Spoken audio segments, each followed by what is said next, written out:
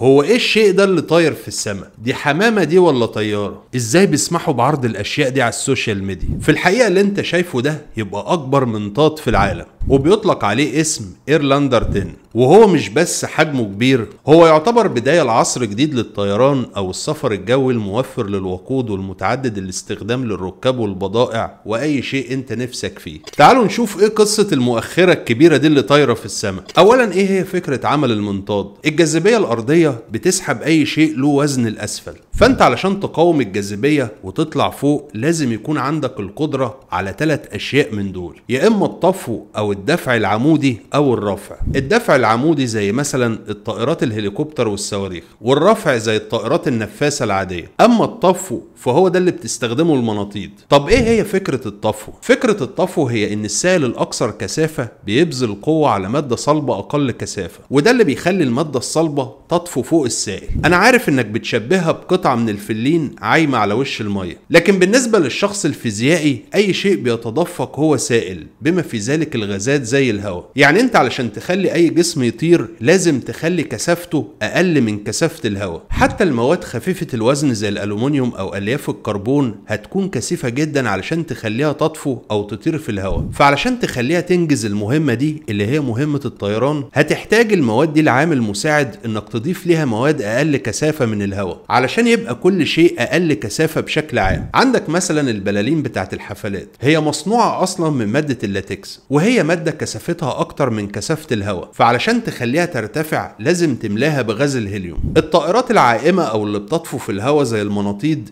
اعتبر إنها بالونات بس حجمها كبير جدا جدا. البالونات دي بتتملي عادة بغاز خفيف زي الهيليوم. كانت زمان المناطيد دي بتتملي بغاز الهيدروجين شديد الاشتعال. لكن ده مخاطره كبيرة زي الحادثة الشهيرة لاحتراق وتحطم المنطاد الألماني هيندنبورج في سنة 1937 لحسن الحظ إن الهيليوم من الغازات النبيلة أو الخاملة. يعني ملوش أي مخاطر ولا له أي رائحة ولا بيشتعل زي الهيدروجين. وأظن إن دي فكرة كويسة لما تكون مؤخرة كبيرة بالشكل ده ما تطلعش غازات ليها ريحة وبتشتعل. المنطاد Airlander 10 بيحتوي على أربع محركات بقوة 325 حصان. يعني مثلا بقوة دفع ست سيارات دفع رباعي صغيرة. لكن تعالى بقى لطائرة زي البوينج 787 دي المحركات بتاعتها تساوي تقريبا 400 سيارة دفع رباعي. معنى كده إن المنطاد المحرك بتاعه بيحتاج طاقة أقل بكتير جدا من الطائرات العادية. لكن في هنا مشكلة وهي الوزن أو الحمولة. المنطاد العادي ممكن يشيل حمولة وزنها طن ونص. لكن ما تقدرش تزود الوزن عن كده كأنك جبت بالونة وربطت فيها حجر استحالة إنها تطير. إنما مثلا طائرة زي البوينج 787 ممكن تشيل لحد 20 طن من البضائع طب معنى كده علشان نخلي المنطاد يشيل وزن أكبر هنحتاج يبقى حجمه كبير جدا علشان ياخد أكبر كمية من الهيليوم. للأسف الحل ده غير عملي وهقول لك ليه. عندك المنطاد Airlander 10 اللي هو أكبر منطاد في العالم. طوله 92 متر وارتفاعه 26 متر وعرضه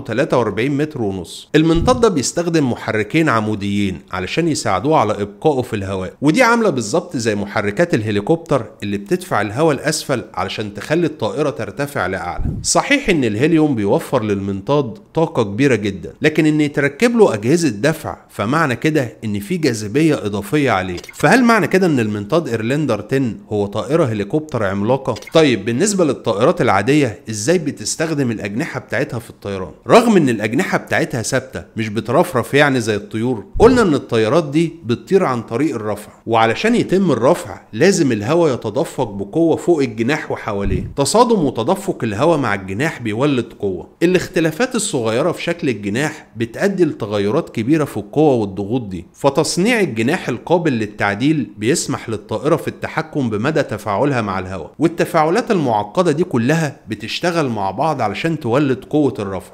قوة الرفع بتكون قوية جدا بشكل مش معقول وده اللي بيسمح للطائرات إنها تشيل مئات من الأطنان وتفضل تحلق في السماء. ولأن الحركة ضرورية جدا لوجود الرفع فالطائرات بتحتاج لمحركات ضخمة جدا علشان تدفعها بسرعة كبيرة في الهواء. أما المنطاد Airlander فبيحتاج لمحركات صغيرة مقارنة بالطائرات النفاثة لأن الهيكل الضخم بتاعه بيوفر مساحة كبيرة لتحريك الهواء للتفاعل مع جسم المنطاد وتوليد بعض قوة الدفع. بما أن المنطاد Airlander هو وسيلة لنقل المسافرين. فعلشان يبقى وسيلة فعالة لازم تكون سرعته في النقل زيها زي الطائرات. الطائرات سريعة جدا في نقل المسافرين لكنها بتحتاج لمدرج طويل للإقلاع والهبوط. بالإضافة أن المدارج دي بتحتاج على طول لصيانة دورية. أما ال Airlander ما بيحتاجش أي مدرج. هو على طول بيرتفع من مكانه لفوق في الهواء وبينزل على أي أرض. بص هو الخلاصة أن ال Airlander لا يعتبر منطاد ولا يعتبر هليكوبتر ولا يعتبر طائرة نفاثة. هو حاجة كده mix أو خليط بينهم هما التلاتة وهو بيشتغل بطريقة معيارية مش ثابتة بحيث إنك ممكن تبدل أو تتحكم في أجزائه حسب طبيعة الرحلة اللي بيعملها سواء أنت عايز تستخدمه في سفر الركاب أو في نقل البضايع أو في البحث العلمي. فال Airlander 10 ممكن يعمل لك الوظائف دي كلها مع حمولة ممكن توصل ل 10 طن على الرغم إن الحمولة الكبيرة دي ل 10 طن مش زي حمولة الطائرات التجارية العادية لكن أنت هتنقلها بكمية قليلة جدا من الوقود. ال Airlander 10 ممكن يفضل محلق في الهواء خمس أيام متواصلة في الرحلة الواحدة. فالمنطاد ده يعتبر من أفضل الحاجات اللي ممكن يستخدمها العلماء في البحث العلمي لأنه بيساعد في إتمام المهمة من غير انقطاع لأنه بيقعد فترة طويلة في الهواء على عكس الطائرات اللي الوقود بتاعها بيخلص بسرعة. غير كده إن ال Airlander 10 صديق للبيئة وما بيطلعش كمية عادم كبيرة زي اللي بتطلعها الطائرات. يعني لو أنت قارنت ما بينه وبين الطائرات في انبعاثات غاز ثاني أكسيد الكربون هتكون النسبة 10 ل 130 غير كمان إن السفر عن طريق ال Airlander بيكون مريح وما بيبقاش فيه الرجرجة الكتير دي اللي بتحصل في الطائرة لما بتتعرض لمطبات هوائية. حاليا بيتم العمل على تجهيز منطاد أكبر من ال Airlander 10 وهيسموه Airlander 50 وده هيبقى حجمه أكبر مع حمولة توصل ل 50 طن. السؤال بقى هنا هل تفتكروا إن المناطيد المتطورة دي هيكون ليها مستقبل كويس في عالم الطيران ولا هتكون بس كويسة للرحلات السياحية والبحث العلمي؟ ما تنسوش تكتبوا الإجابة في الكومنتات تحت الفيديو.